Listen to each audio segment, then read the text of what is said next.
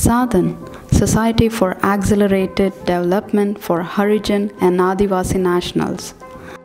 Located in the outskirts of Phulbani, Odisha, Sadhan is a non profit humanitarian organization for children founded by the visionary couple Father Paul and Mrs. Shiva in the year 1991.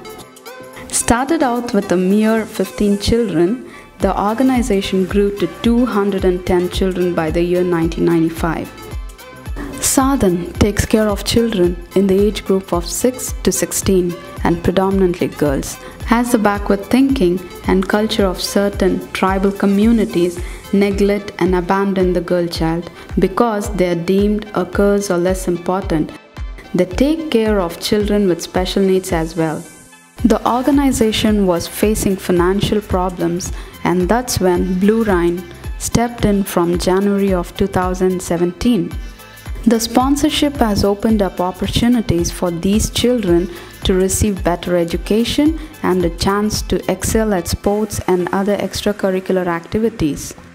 At Blue Rhine, we believe that success comes only when you help others to become successful.